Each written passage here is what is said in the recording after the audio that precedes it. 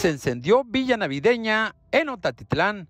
Villa Navideña que incluyó gran árbol de luces en Otatitlán fue encendido con la presencia de la directora del DIF estatal, Rebeca Quintanar Barcelo.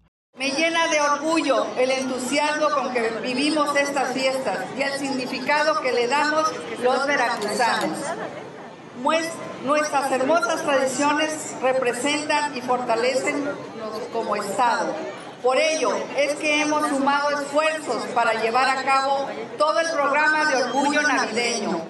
En acto que encabezaron el alcalde Abel Cuevas Palmero y la presidenta municipal electa Yaret Manzanilla Medina, todo como parte del programa Orgullo Navideño, que contempla la preservación de las tradiciones y reactivación económica, con el apoyo del gobernador Cuitro García Jiménez y del secretario de Gobierno, ingeniero Eric Cineros Burgos, según expresó la titular del citado organismo asistencial.